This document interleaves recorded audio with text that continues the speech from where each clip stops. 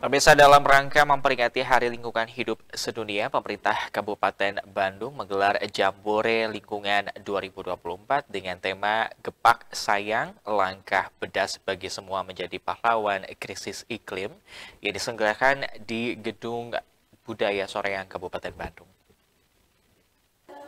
Dinas Lingkungan Hidup Kabupaten Bandung menggelar Jambore Lingkungan 2024 dalam rangka peringatan Hari Lingkungan Hidup Sedunia di Gedung Budaya Sabi Lulungan, Kecamatan Soreang, Kabupaten Bandung.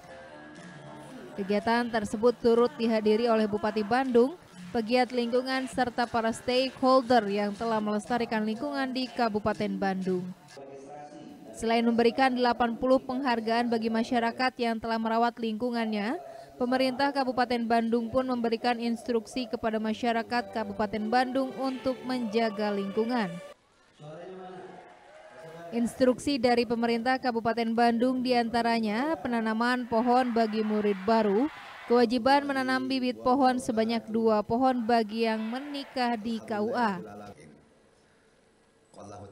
Dikatakan Bupati Bandung Dadang Supriyatna, jika instruksi tersebut dilakukan oleh masyarakat Kabupaten Bandung, maka akan terjadi pelestarian lingkungan. Dalam rangka Hari Jadi Lingkungan Dunia tahun 2024, yang mana kita evaluasi selama kepemimpinan saya tiga tahun ini memang hampir kurang lebih sekitar 20 kegiatan yang berpihak kepada lingkungan. Di antaranya dengan adanya gerakan Gepak Sayang dan juga kita sudah mengeluarkan instruksi Bupati nomor 2 tahun 2023 yang mana setiap uh, anak sekolah yang diwajibkan setiap anak sekolah baru untuk mewajibkan menanam, menanam pohon kesayangannya dua buah pohon. Uh, bagi yang mau menikah juga di KUA memberikan uh, bantuan uh, partisipasi yaitu untuk menanam dua pohon menjadi pohon kesayangannya dari mulai awal nikah sampai dengan dia berkeluarga dan mengurus sampai punya anak dan cucu ya.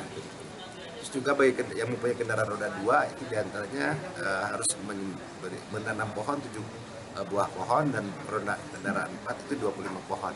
Nah kalau ini dilakukan seluruh masyarakat Kabupaten Bandung saya kira ini akan terjadi pelestarian lingkungan dan menjadikan budaya.